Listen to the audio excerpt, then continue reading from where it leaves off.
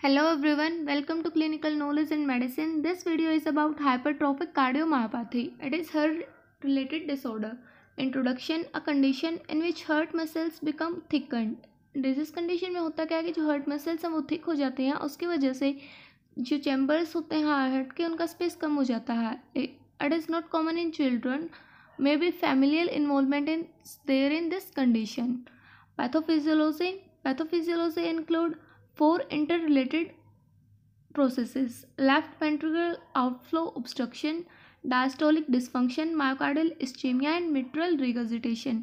Clinical features क्या क्या हो सकते हैं? पेशेंट को डिस्निया होगा means difficulty in breathing angina type chest pain palpitations syncope and arrhythmias arrhythmias are irregular heart beat diagnose कैसे करेंगे? Physical examination pulse has upstroke with bisferiens character Fourth heart sound is palpable at apex and murmur sound is feel at left sternal border. ECG में left ventricular hypertrophy show होगा and cardiac catheterisation and angiography से diagnosis confirm हो जाएगी।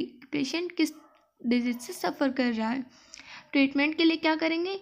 बेटा blockers provide की जाएँगी विरापमिल to decrease the obstruction. Amiodarone and disopyramide used for control of arrhythmias.